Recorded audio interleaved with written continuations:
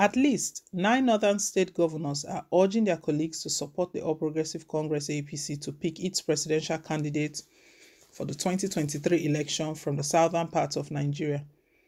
The party will nominate its presidential candidate at its national convention in Abuja next week. 23 aspirants have been screened to participate in the primary, 19 of whom are from across all three geopolitical zones but a push has intensified for the party to look north in its choice since the main opposition People's Democratic Party on Saturday picked former Vice President Atiku Abubakar as its own candidate for the poll. On Tuesday, President Muhammad Buhari met with the 22 APC state governors and urged them to support him in picking his preferred successor. Following the president's statement, the state governors met twice on Tuesday but could not agree on who to recommend to the president for consideration and whether the party should consider nominating a candidate from the north. The APC has 14 governors in the north and 8 in the south. While there is a consensus among the southern state governors that their region should produce President Buhari's successor, five of their colleagues in the north think only a northern candidate can defeat the PDP candidate, Mr. Atiku Abubakar. However, in previous discussions among the governors and in other fora, nine northern governors had argued that it is not in the interest of national cohesion and social justice for the presidency to remain in the north in 2023 after eight years of the Buhari presidency. These governors also dismissed the view held by some of their northern colleagues that only a northern candidate can win the presidential poll for the APC. The nine governors rooting for a power shift to the south Ababagana Zulum of Borno, Simon Lalong of Plateau, Nasir El-Rufai of Kaduna, and Abdullahi Ganduje of Kano. Others are Aminu Masari of Katsina, Abubakar Bello of Niger, Abdurrahman Abdurrazak of Kwara, Abdullahi Sule of Nasarawa, and Bello Matawalle of Zamfara.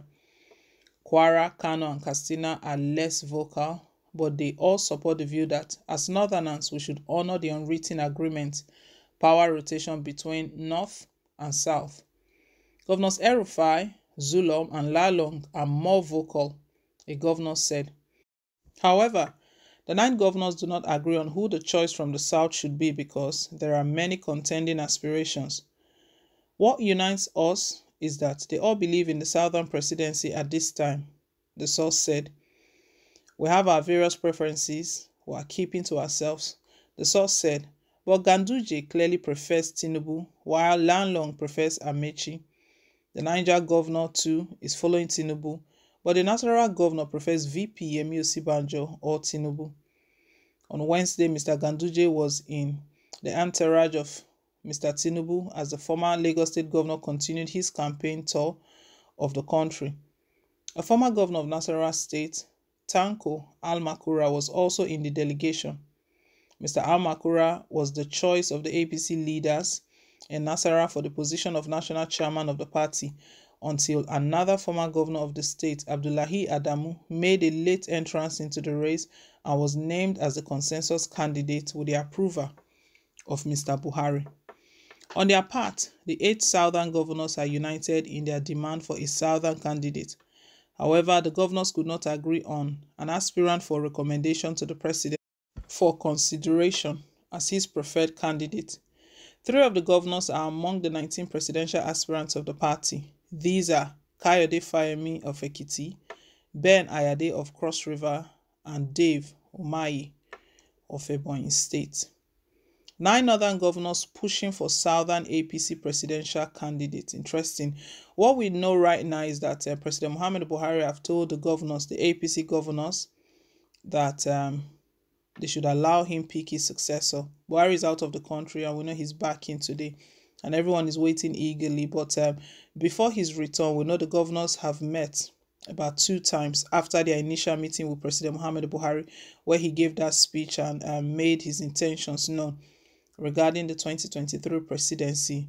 Although we know that um, um, that is not sitting well with the governors because even after he left and they met and they've not been able to come to an agreement who should be that person or who the recommendation should be that they should present to President Muhammadu Buhari.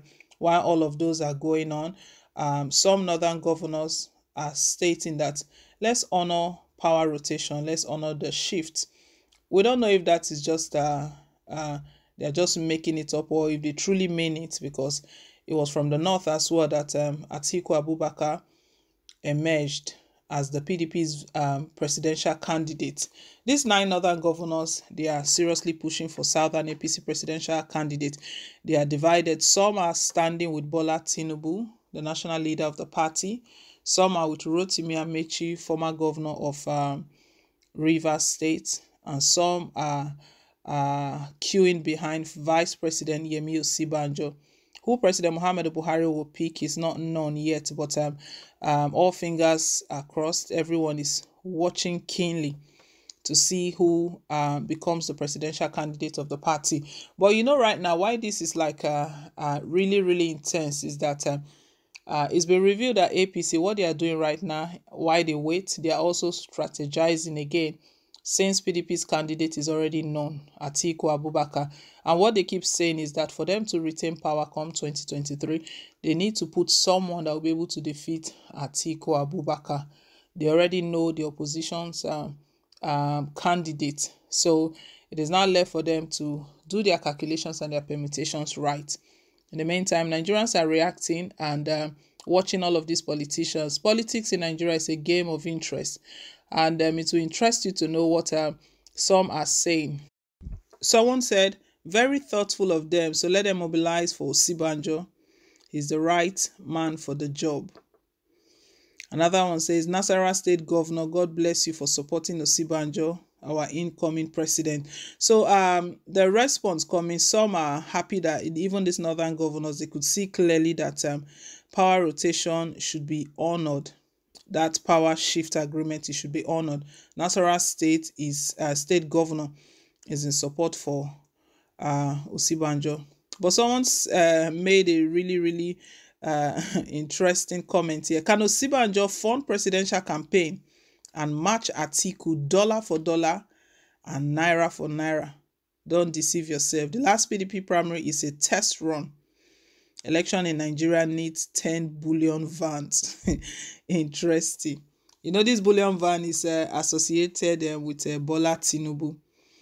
Uh, that is one case, EFCC case, that have been swept under the corner that he should give explanation about those bullion vans that were seen going into his residence on the eve of um, the last uh, um, general election. But anyway, uh, what this person is saying that Osinbajo is not a politician. We know Osinbajo is not a politician is different from all of these guys. That's why you see that uh, you hardly hear him being criticized, apart from the fact that um, he's not really speaking for the people. He's just there, but people just feel that um, it's not really his fault that his hands are tied. He cannot do much. Sibanja is one person that we've never heard any uh, fraud allegation against or anything hanging on his neck. That is why this person is saying that. Are you sure you can match Atiku dollar for dollar? Well, Nigerians already know um, what these politicians can do, what they are capable of. But leave us your take, guys. Um, thank you once again for staying tuned. Please don't forget to like, share, and to subscribe.